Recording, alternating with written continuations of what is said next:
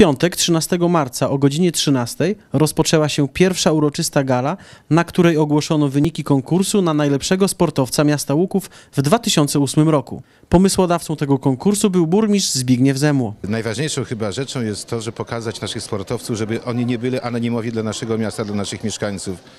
Ja tak dzisiaj na wstępie powiedziałem, to dzięki nim sport jest piękny. Jak zauważyliście Państwo, kategoria nominowanych osób to są dzieci od lat 9 do tych powyżej 50. Dlatego y, mamy się czym szczycić. To są, to są ci ludzie, dzięki, dzięki którym y, rozwija się promocja naszego miasta.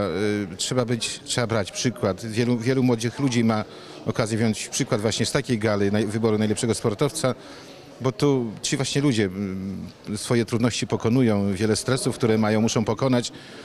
Choć są również świadomi, że nie zawsze będą osiągali najwyższe i najlepsze wyniki. To jest sport. Dla nich jest i dla nas jest ważne, żebyśmy y, umieli razem współpracować, żebyśmy umieli się cieszyć ich sukcesami, ale żebyśmy również byli w chwili, kiedy mają porażkę, żebyśmy ich wspomagali przy tych porażkach. Podczas gali wszystkim nominowanym do tytułu najlepszego sportowca miasta Łuków wręczono dyplomy i nagrody. Spośród 26 osób kapituła konkursu, w skład której wchodzili burmistrz Zbigniew Zemło, przewodniczący Komisji Edukacji, Kultury i Sportu Krzysztof Okliński, naczelnik Wydziału Edukacji, Kultury i Sportu Władysława Ostrowska oraz sekretarz miasta Waldemar Siurek, wybrała 12 najlepszych sportowców Łukowa. Miejsce trzecie decyzją kapituły zajęła Liliana Kamińska, urodzona 17 sierpnia 1997 roku, zawodniczka sekcji pływania międzyszkolnego klubu sportowego Delfinek Łuków. Miejsce drugie zdobyła panna Ewelina Kędzierska, urodzona 12 sierpnia 1991 roku. Nie ma Eweliny, ale jest jej mama. Zawodniczka stowarzyszenia piłki ręcznej Łukowie Łuków, grająca na pozycji bramkarza. Reprezentantka kadry narodowej juniorek. Miejsce pierwsze Robert Dolega. Urodzony w Łukowie 31 grudnia 1977 roku. Zawodnik sekcji podnoszenia ciężarów ŁKS Orlęta Łuków. Członek kadry narodowej podnoszenia ciężarów. Olimpijczyk. Tutaj ze strony miasta, jak widzę, e, jest wsparcie dla propagowania sportowego trybu życia, y, sponsorowania i finansowania stowarzyszeń sportowych w mieście, dlatego poza tym trzeba wspomnieć o stypendiach, prawda? Także myślę, że warunki są stwarzane coraz lepsze do rozwoju. Jak najlepsza baza sportowa, trzeba z tego korzystać. Taka inicjatywa cieszy się naprawdę wielkim szacunkiem z mojej strony dla wodarzy miasta, ponieważ e, to jest owoc naszej pracy, czyli naszych pracy trenerów i sportowców. Wśród najlepszych znaleźli się również Edyta Pawłowska, zapasy ŁKS Orlęta Łuków, Karolina Trepka, MKS Delfinek Łuków, Łukasz Matuszewski, piłka nożna ŁKS Orlęta Łuków,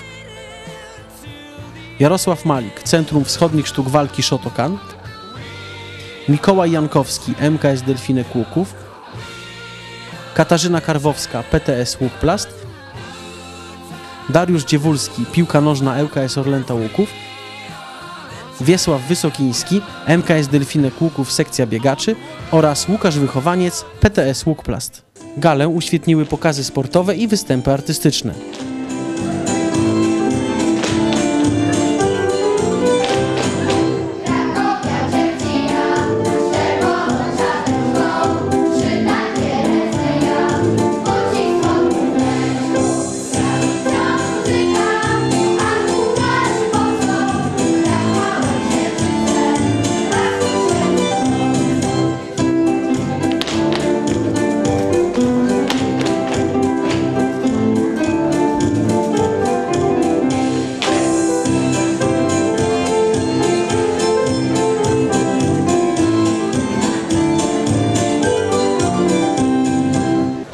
Jak widzimy w tej dyscyplinie sportowej, w walce i na treningu używa się specjalistycznego sprzętu ochronnego, takiego jak kaski, rękawice, ochraniacze na stopy, podbucia, ochraniacze na zęby i krocze, przez co trening i udział w zawodach są bezpieczne.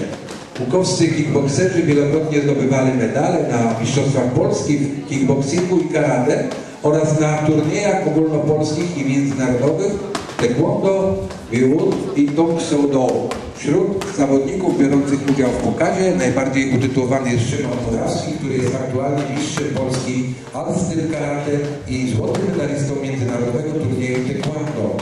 Medalistami Mistrzostw Polski All-Style Karate i Tang Soo Do są także Tomasz Zaleski, Kasper Suchodolski i Filip Posiadała. Idź. Nie. Stań.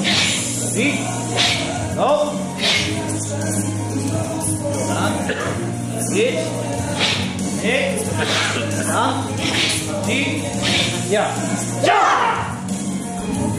Tak jest, nie? Idź. Nie. Stań. Idź.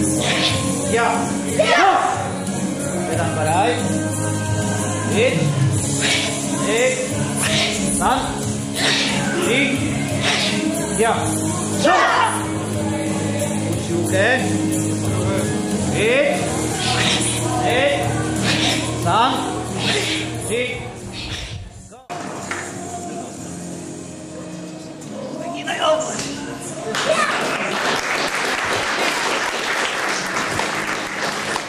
Kapituła konkursu nagrodziła również trenerów. Wśród wyróżnionych znaleźli się Jarosław Malik, Centrum Wschodnich Sztuk Walki Shotokan, Zenon Pawlikowski, PTS Łukplast, Stanisław Posiadało, MKS Delfinek Łuków, Andrzej Suchodolski, ŁKS Orlęta Łuków Piłka Nożna oraz Grzegorz Wałachowski, ŁKS Orlęta Łuków Zapasy. Burmistrz Zbigniew Zemło nagrodził też dwie szkoły. Za najlepsze wyniki sportowe uhonorowane zostały Szkoła Podstawowa nr 1 oraz Gimnazjum nr 2. Konkurs na najlepszego sportowca Łukowa, zorganizowany przez burmistrza, był okazją do nagrodzenia i uhonorowania wszystkich sportowców, również tych najmłodszych, którzy nie mogli się starać o stypendia sportowe. Podobną inicjatywą, polegającą na wynagradzaniu młodych talentów, wykazała się wójt gminy Łuków Kazimiera Goławska. Wyróżniła ona Annę Maksim, trenującą kickboxing w PTS Łukplast pod okiem Zenona Pawlikowskiego. Y, mamy promującą gminę, promującą powiat, mieszkankę naszej gminy, dziewczę z Dąbia, która sięgnęła po medale więcej niż europejskie i międzynarodowe.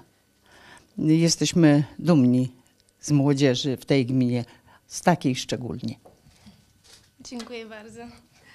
E, Jest to dla mnie e, bardzo wielkie wyróżnienie. E, Sukcesy zawdzięczam przede wszystkim rodzicom i panu trenerowi, bo to dzięki niemu e, jesteśmy tacy silni i na zawodach e, mamy siłę, żeby pokonywać e, trudności. Jeśli chodzi o dzisiejsze spotkanie, to naprawdę to jest niesamowite wyróżnienie dla mnie.